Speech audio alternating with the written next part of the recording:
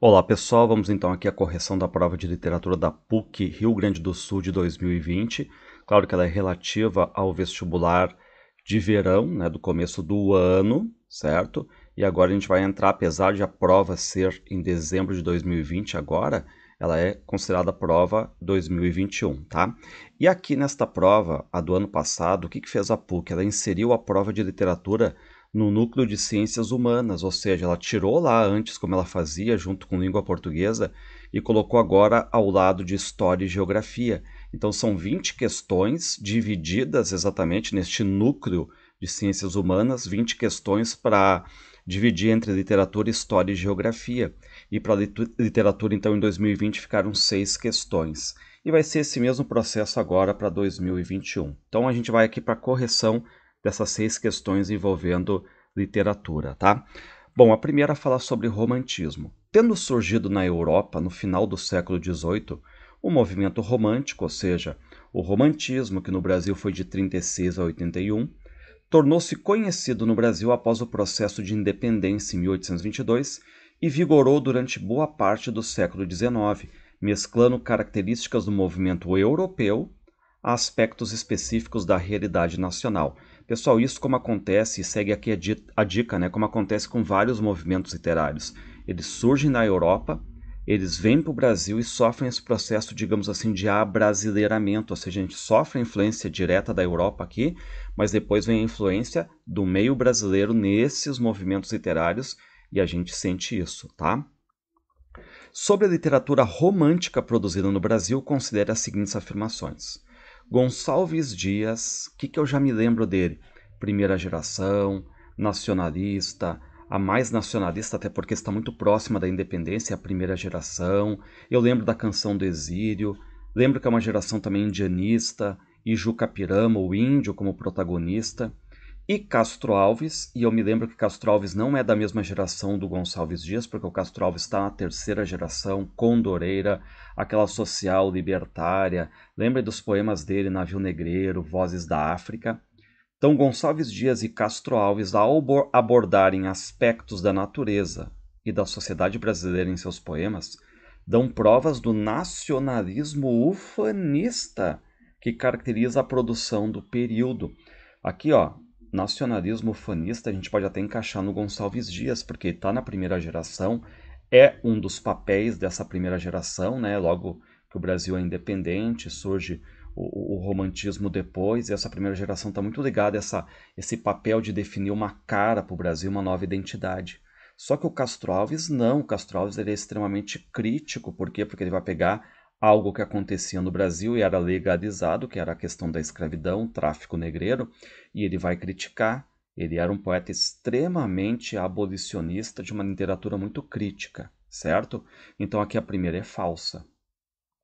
Casimiro de Abreu e Álvares de Azevedo, bom, aqui nós temos dois poetas, ambos da segunda geração, lembra aquela geração mal do século, a ultra romântica, a ultra subjetiva, muito intimista com as obras Primaveras. Primaveras é do Casimiro, né, de 59, e Lira dos 20 anos, que é a obra do Álvares de Azevedo, inclusive foi uma obra póstuma, publicada um ano depois da morte do Álvares de Azevedo, ou seja, respectivamente apresentam produções poéticas voltadas à subjetividade, sim, à intensa subjetividade, muito intimistas, porque estão na segunda geração, com marcas de melancolia, e aqui a gente nota isso muito no Álvares, e saudosismo, que a gente também vê aqui no Casimiro de Abreu. Lembrem do Casimiro de Abreu, aquele poema conhecido dele, Meus Oito Anos. Então aqui, ok, verdade. 3. Com uma vasta produção romanesca, ou seja, romance, o texto em prosa, José de Alencar transita por cenários e temas históricos. E aqui lembrando, né, quando a gente vai trabalhar o José de Alencar, ele foi o maior do romantismo, fez romances e o que, que ele fez? Ele, ele, ele abre aquele restaurante dele com aquele cardápio que ele vai paquerar romances históricos indianistas, romances urbanos, regionais. E é isso que a questão vai dizer, ó, transita por cenários e temas históricos, por exemplo, Guerra dos Mascates, regionais, o gaúcho, o sertanejo, indianistas, pô, aí a gente lembra, né, o Birajara, o Guarani, Iracema, clássicos dele, e urbanos, os urbanos em que ele vai lá pelas tantas, né, colocar problemas urbanos do Rio de Janeiro, principalmente, como aquela trilogia Perfil de Mulher com Lucila, a questão da prostituição, diva, senhora, o casamento por interesse. Então aqui está a verdade. 4. Ao colocar em cena as camadas medianas da sociedade brasileira, Manuel Antônio de Almeida, bom, Manuel Antônio de Almeida, com as suas memórias de um sargento de milícias, fala das camadas medianas da sociedade brasileira, é verdade, né? Porque ele vai pegar basicamente aquela pequena classe média carioca ali, fluminense, né?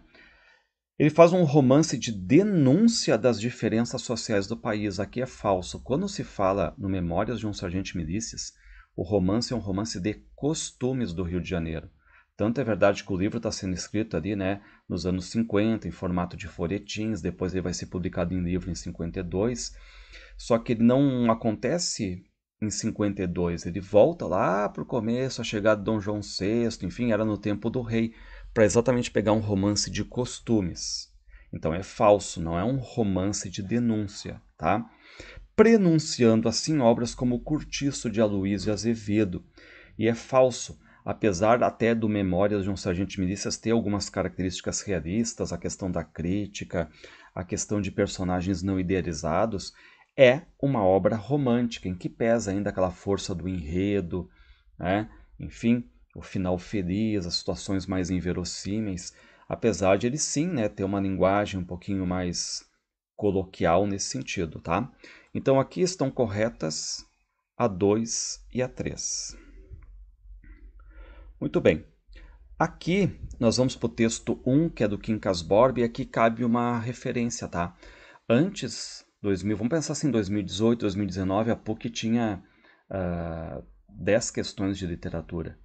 E até vou comentar essas mais antigas aí também vocês vão ver. Mas reparem, eu tinha 10. Agora diminuiu, agora lá pelas tantas, né, se a gente for olhar, tem 6, pode vir até ter uma sétima talvez, né? Mas é isso aqui, porque ela está no núcleo de ciências humanas, dividindo essas 20 questões com história e geografia e literatura agora, tá? E o último dado que a gente tem é essa prova aqui 2020, nesse sentido, que foram seis questões. Mas o que acontece? Se eu tenho só um, um, um corpus de análise pequeno, né, são seis questões, o que, que eu posso fazer? Eu posso pegar textos, dois textos, trabalhar intertextualidade, trabalhar comparações, e é isso que vai acontecer a partir de agora. Reparem, texto 1 é retirado da obra Quincas Borba do Machado de Assis.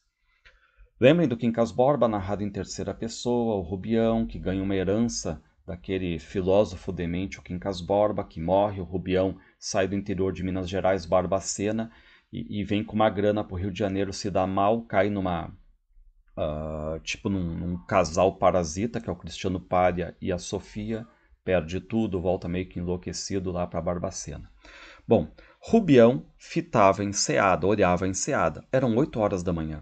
Quem o visse, com os polegares metidos no cordão do chambre, à janela de uma grande casa de Botafogo, cuidaria que ele admirava aquele pedaço de água quieta. Mas, em verdade, vos digo que pensava outra coisa. Repare, o narrador é em terceira pessoa, mas o que ele diz? Vos digo que pensava em outra coisa. Aquela capacidade né, de, de entrar no pensamento do personagem. Rubião cotejava o passado com o presente. Que era ele havia um ano? Professor, um simples professor no interior de Barbacena lá. Que que é ele agora, depois que ele ganha herança? Capitalista. Olha para si, para as chinelas, umas chinelas de Tunis que lhe deu recente amigo Cristiano Pária. Olha para a casa, para o jardim, para a enseada, para os morros e para o céu. E tudo, desde as chinelas até o céu, tudo entra na mesma sensação de propriedade. Vejam como Deus escreve por linhas tortas, pensa ele. Se Mana Piedade tem casado com Quincas Borba, ele não me daria uma herança, apenas me daria uma esperança colateral. Ele não casou com a minha irmã, ambos morreram e aqui está tudo comigo, a herança comigo. De modo que parecia uma desgraça eu não ficar com nada de grana, aconteceu o contrário. Bom, então aqui é um trecho do Quincas Borba. E agora um trecho do Triste Fim de Policarpo, também narrado em terceira pessoa, dentro daquele personagem extremamente nacionalista, ufanista, não quer nada que venha de fora, idealista, ingênuo também. De certo modo, o Rubião também é muito ingênuo, porque cai num, num casal parasita, cai num Rio de Janeiro todo feito contra ele, e o Policarpo Quaresma também, né, aquele personagem quixotesco idealista. Como de hábito, Policarpo Quaresma, mais conhecido por Major Quaresma, bateu em casa às 4h15 da tarde. Havia mais de 20 anos que isso acontecia. Reparem, hábito, mais de 20 anos isso acontece. Reparem como o narrador aqui em terceira pessoa está colocando aquelas questões que nós sabemos, né? questões rotineiras, cotidianas do Policarpo. Saindo do arsenal de guerra, onde ele era subsecretário, bongava pelas confeitarias algumas frutas, comprava um queijo às vezes e sempre o pão da padaria francesa. Reparem, né? Como de hábito, mais de 20 anos isso acontece, sempre. Não gastava nesses passos nem mesmo uma hora, de forma que às 13h40, por aí assim, tomava o bonde, sem erro de um minuto, ia pisar a soleira da porta de uma casa, numa rua afastada de São Januário, bem exatamente às 4h15, como se fosse a aparição de um astro, um eclipse, enfim, um fenômeno matematicamente determinado, previsto e predito. Reparem que esta parte que mostra o quanto ele é pontual, o quanto ele é metódico, o quanto ele é sempre uh, cotidiano, ritual. Sempre, sempre hábito a vizinhança já lhe conhecia os hábitos. Por quê? Porque ele repete a mesma coisa, né? E tanto que na casa do capitão Cláudio, onde era costume jantar-se ali pelas quatro e meia, logo que o viam passar, a dona gritava à criada: Alice, olha que são horas, o major Quaresma já passou. E assim todos os dias há quase 30 anos. Vivendo em casa própria e tendo outros rendimentos além do seu ordenado, o Major Quaresma podia levar um trem de vida superior aos seus recursos burocráticos, gozando por parte da vizinhança de consideração e respeito de homem abastado. Muito bem, são trechos mais longos, são ambos em terceira pessoa, ambos que mostram personagens assim, né, que são ingênuos, que acabam se dando mal com, com projetos fracassados. Então reparem o que diz aqui a PUC. Em ambos os textos, as cenas são narradas na terceira pessoa, ou seja, ela afirma. No primeiro, que é Quincas Borba, contudo a visão do narrador é mais o que? Afastada ou próxima? Do protagonista, que vive uma situação recente de quê? De ascensão social ou estabilidade? Enquanto que no segundo, que é o trecho do Policarpo Quaresma, a visão do narrador é mais afastada ou próxima? Do protagonista, cuja vida é marcada pelo quê? Pela estabilidade ou pela ascensão social? Eu acho que fica fácil de ver aqui, né? Quando a gente vê ali que no narrador de Quincas Borba diz que consegue penetrar nos pensamentos a essa proximidade. E o que, que ele diz antes? O que, que eu era? Eu era um professor e agora sou um capitalista, ou seja, marca a ascensão social dele, tá? E fica muito claro aqui, dentro do Policarpo Quaresma, que se ele faz a mesma coisa durante 30 anos, ele está estável. É uma vida de estabilidade. Então o gabarito aqui ficou a C. Ou seja, a visão do narrador em Quincas Borba é mais próxima do protagonista, que vive uma situação recente de ascensão social porque ganhou uma herança, enquanto no segundo a visão é mais afastada, uh, cuja vida é marcada pela estabilidade. Muito bem. E agora pergunta assim, ó, a respeito dos romances citados, é correto afirmar que a o nacionalismo é um traço comum aos protagonistas de Quincas Borba, que é o Quincas Borba, e Triste Fim de Policarpo Quaresma, né? O Policarpo Quaresma ali, na verdade o Rubião, né? E o Policarpo Quaresma. Mas para Policarpo, ok, o Policarpo é um nacionalista ufanista mesmo, mas nada tem a ver com o Rubião, que era um provinciano que vai para o Rio de Janeiro, vai modificando um pouco os seus gostos, né? É falso. Esta característica não casa com Rubião. B. Rubião, solitário e melancólico, ao final de Quincas Borba, contenta-se com seu último pensamento. Não tive filhos, não transmitia a nenhuma criatura o legado de nossa miséria. Bom, aqui é um detalhe importante, tá? Porque esse final aqui é um final clássico, mas o final das memórias póstumas de Brás Cubas, ou seja, quem fala isso é o Brás Cubas. Não tive filhos, não transmitia a nenhuma criatura o legado de nossa miséria.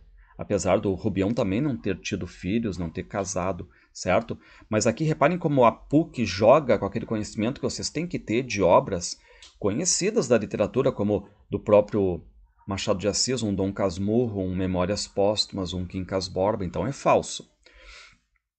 C. O fracasso do Major Quaresma que o leva ao triste fim, anunciado no título da obra, deve-se ao fato de não conseguir ascender na hierarquia militar. Bom, é falso porque quem já leu o livro sabe que o fracasso do Policarpo Quaresma se deve também ao fato de que todos os seus projetos foram fracassados.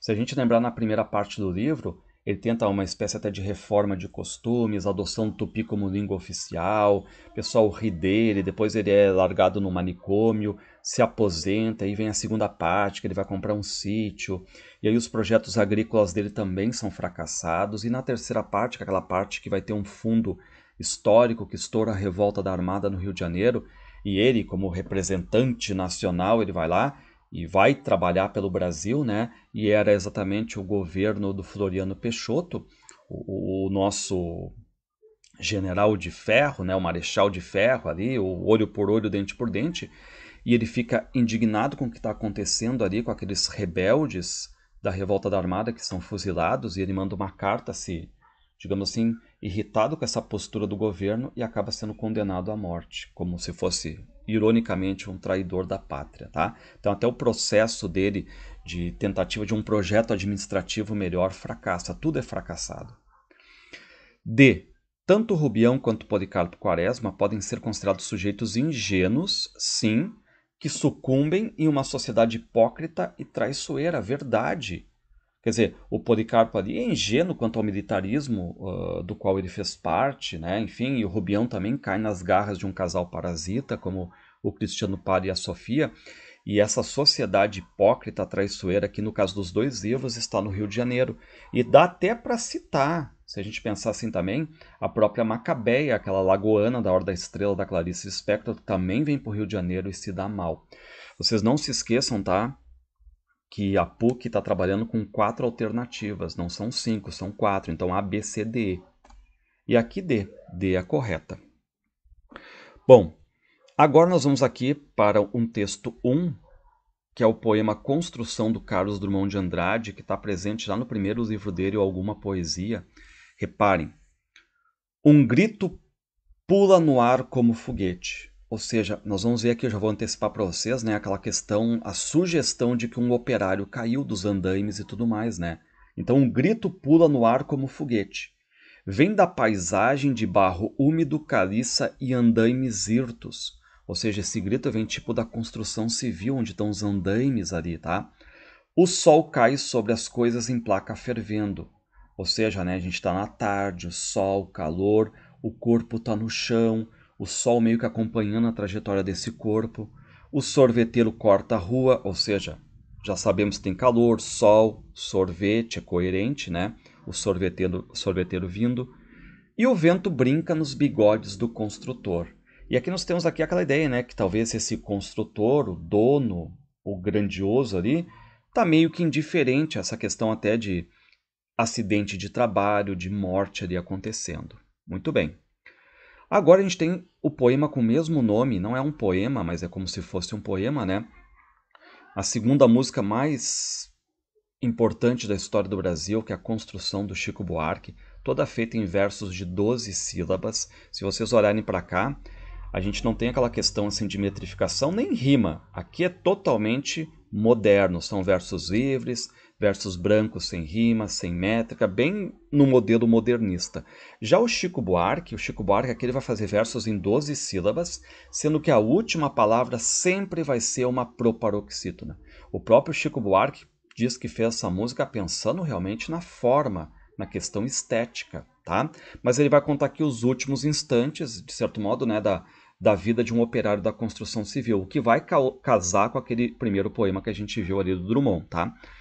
Amou daquela vez como se fosse a última. Olha só, o, o operário que levanta e está se despedindo da família, né, para ir para o trabalho.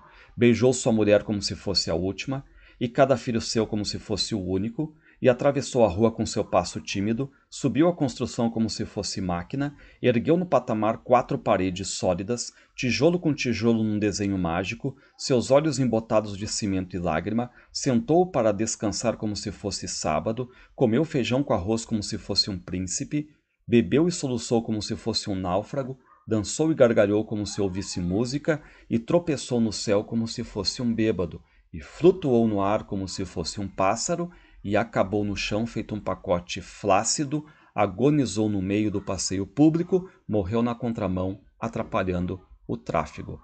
É maior, né, uma letra grande aqui, né, do nosso Chico Buarque, tá?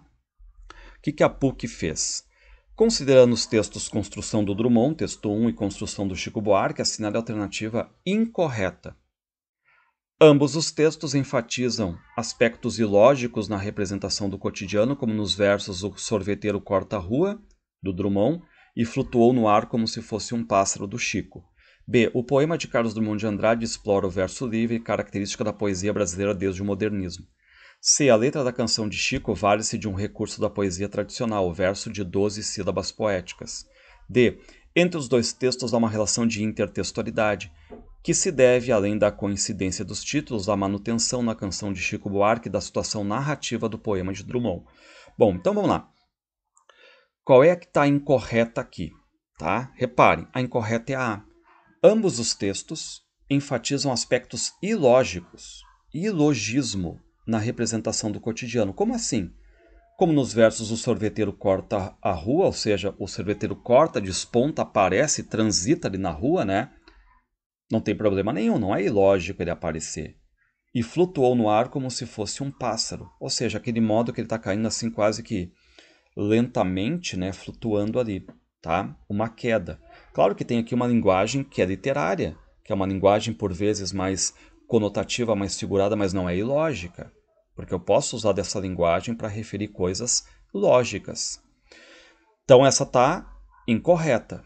O poema de Drummond explora o verso livre, sem métrica, verdade. Característica da poesia brasileira desde o modernismo, verdade, né? principalmente depois de Oswald de Mário, lá na Semana de Arte Moderna. C. A letra da canção de Chico vale-se de um recurso da poesia tradicional, acadêmica, né? ou seja, o verso de 12 sílabas. E o verso de 12 sílabas, também chamado de dodecassílabo, ou versos alexandrinos. Né? E lembrar que aquele, no poema do Drummond ali, versos livres, agora na letra do Chico, metrificado, e nós temos sempre a última palavra, uma proparoxítona. D. Entre os dois textos há uma relação de intertextualidade, inter, entre, entre textos, entre textos, ou seja, eu posso fazer uma conversa, um diálogo entre textos, que eu tenho o texto 1 primitivo, e aí alguém faz um texto 2 que conversa, com dialoga com esse texto 1. Ou seja, né, aquela questão de textos que podem ser textos verbais, textos não verbais, como artes plásticas, e textos verbais e não verbais, tendo imagem e palavra, tá? Que se deve, além da coincidência dos títulos, que é o mesmo título Construção, à manutenção na canção de Chico Buarque da situação narrativa do poema de Drummond, ou seja, o drama de um operário da construção civil, a questão da morte. E também lembrar, só para deixar aqui claro, tá? que a PUC, como ela está trabalhando muitas vezes com dois textos, porque tem uma quantidade menor de questões, então eu, eu, eu cito dois autores numa questão. E a questão fica muito linda, essa é uma questão muito bonita que a PUC fez, tá? Agora, se a gente pensar também, o Chico Buarque, pô, ele fez intertextualidade com outros poemas do Drummond. Ele fez aquele, pegou o poema do Drummond Quadrilha e fez a música Flor da Idade, pegou o poema de Sete Faces e fez a música Até o Fim. Então, cuidem esse detalhe da intertextualidade aqui, tá? Bom, aqui a PUC gosta de pedir uma questão sobre literatura sul-rio-grandense contemporânea, Considere as seguintes afirmações sobre o gênero conto, mas na literatura sul-rio-grandense. Nos contos de O Carnaval dos Animais, de Moacir Scler, o cotidiano é frequentemente atravessado por acontecimentos e personagens insólitos. Então aqui a gente tem uma verdade, né? Porque lembrar que o Scler, já falecido, ele utilizou o realismo mágico. Lembrem até daquele romance dele famoso, O Centauro no Jardim, que ele mistura a questão né, da, da, do judaísmo com realismo mágico. 2. O experimentalismo linguístico, o tom intimista e as referências à cultura pop são características das narrativas de Caio Fernando Abreu. A gente pode até colocar como sim, né? Na verdade é uma cultura, uh, como é que a gente pode chamar, né? Aquela subcultura, contracultura, tá? Mas é um tom intimista, enfim, né, a prosa poética. Só que aí o que eu acho que a PUC pisou na bola foi citar um, um, um livro de contos que não é do Caio Fernando Abreu. Porque este livro de contos, O Cego e a Dançarina, é do João Gilberto Noll. Então, né, eu acho que a questão estava indo tão bem e errar por uma questão de autor e obra né? Tá errado então.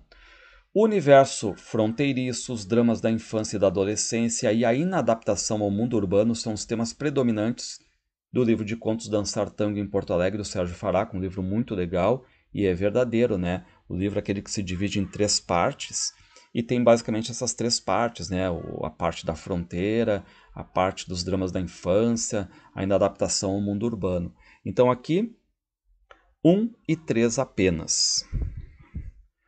Bom, aqui nós temos um poema chamado Harry Potter, da Adélia Prado, e é legal ver também assim que a PUC gosta muitas vezes de pedir autores que estão presentes na prova da URGS, ou seja, já esperar aquele embalo do aluno que leu alguma coisa na URGS e por que não aproveitar, certo? Bom, então aqui lembrar, cuidar o título, Harry Potter, lembra quem? Lembra o, o bruxo conhecido mundialmente. E a gente já fica aqui na cabeça pensando o porquê do título. Reparem que ela vai dizer: Quando eu era criança, escondia-me no galinheiro hipnotizando galinhas. Até aqui tudo ok, né? Porque muitos fazem isso mesmo.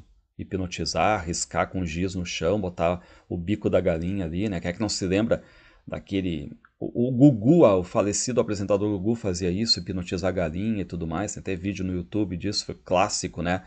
Aquela coisa assim meio, né? Anos 2000. Então, quando eu era criança, escondia-me no galinheiro hipnotizando galinhas. Alguma força se esvaía de mim pois ficávamos tontas, eu e elas, as duas. As galinhas e o eu lírico ficam tontas aqui, né? Ninguém percebia minha ausência, o esforço de levantar-me pelas orelhas, testando, tentando maravilhoso. E aqui a gente já tem uma palavra importante, né? Maravilhoso. E ela hipnotizando, ela tá, por que não, fazendo referência ao título também Harry Potter.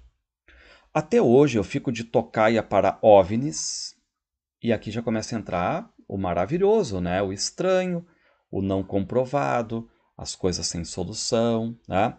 Ó, até hoje eu fico de tocaia para OVNIs, para luzes misteriosas, orar em línguas, ter o dom da cura, ou seja, para coisas sem solução, misteriosas, enigmáticas ou maravilhosas. Meu treinamento é ordenar palavras. Sejam um poema, digo a elas: não se comportem como no galinheiro, eu com as galinhas tontas. E no final, é muito comum também da Adélia Prado ela cair para uma metapoesia, pegar uma parte do poema e trabalhar a metapoesia. Ou seja, como o eu lírico pensa o fazer poético aqui, tá? E aí diz o seguinte, né? Assinale verdadeiro ou falso para as afirmações sobre o texto, tá? Sobre o poema de Adélia Prado. Muito bem.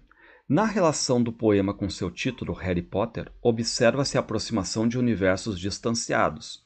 O provinciano, de um lado, e aqui tem a ver com a questão biográfica da Adélia Prado, realmente né, ela é do interior de Minas, de Vinópolis, vivendo uma vida vidinha, como ela mesma diz, e o da cultura de massas, de outro. No título, né, no caso aqui, a gente tem né, o Harry Potter, a questão da cultura de massas, enfim, é uma verdade, né, virou cinema, top de linha de, de, de venda, né? Verdade? Verdade. A memória e o cotidiano. Reparem quando ela volta ao passado para buscar algo do dia a dia dela, né? Temas recorrentes na poesia da Adélia Prado, sim. São impregnados no poema de uma atmosfera mágica sobrenatural. E é verdade também, ela fala de OVNIs, luzes misteriosas, lembra, né? Ela fala de dom, dom da cura, e tudo isso entra né, nessa atmosfera mágica, sobrenatural. Então, dois verdadeiros aqui. Ao tematizar a própria criação poética, ou seja, no final do poema isso ficou bem evidente, o poema adquire um caráter metalinguístico. Verdade. Verdade. Então já tenho, né? Verdadeiro, verdadeiro, verdadeiro. E a última vai ser a falsa aqui. Mas por quê? A presença de um eu lírico feminino e a menção às galinhas tontas inscreve o poema numa tendência da literatura contemporânea, a denúncia da violência, concreta ou simbólica, contra a mulher. E é falso, porque aqui não há o tema da violência contra a mulher. Não houve esse tema. Ok? Então aqui foi as questões que caíram na prova da PUC. Então se atentem para os grandes autores, para os canônicos e para aquelas obras, enfim, né, que a PUC tenha certeza, pelo feitio da prova, né, de que o aluno tem que saber.